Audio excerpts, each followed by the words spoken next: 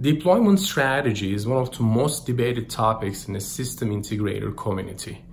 Everybody believes that their way is the right way. I had my own wake up moment a few years back when we had to change everything. What we realized that what we're dealing with is really complex project. It involves multiple functions, multiple regions, multiple systems, Neither we nor the customer is smart to figure all this thing up front.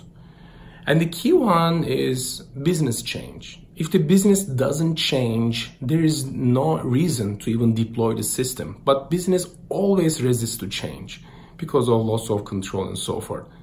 So how can we make them change gradually in the project is key, which is maybe chunking up the change and then passing it through as early as possible, maybe the right thing.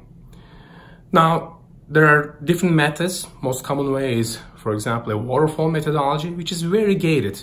You do your analysis, then your design, then your development.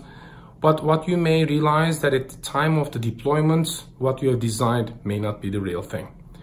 Versus Agile. Agile is very flexible. It's, it's a fluid. It's very hard to control. It's iterative. It's endless. So it needs some kind of a structure too. So maybe the answer is somewhere in between maybe something like an Agifall. There's quite a bit of in my blog. Please go ahead and read it. My name is Cem, and this has been another Gem.